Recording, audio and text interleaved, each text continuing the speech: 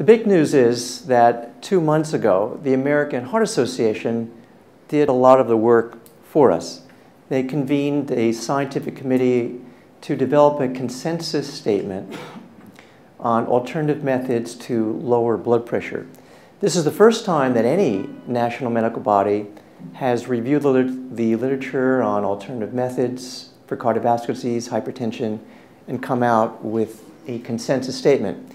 One of their conclusions was that alternative treatments that include the transcendental meditation technique are recommended for consideration in treatment plans for all individuals with blood pressure greater than 120 over 80.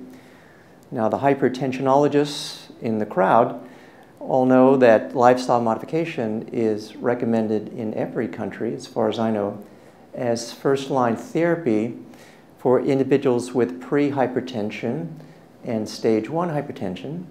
And then after an adequate trial, those with stage 1 or higher may need to move on to drug therapy but at least including lifestyle modifications, adjunctive therapy.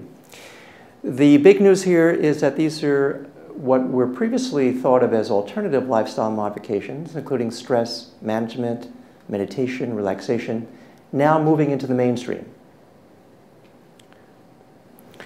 A second conclusion from the AHA was that the transcendental meditation technique is the only meditation or relaxation practice that has sufficient evidence to indicate that it lowers blood pressure.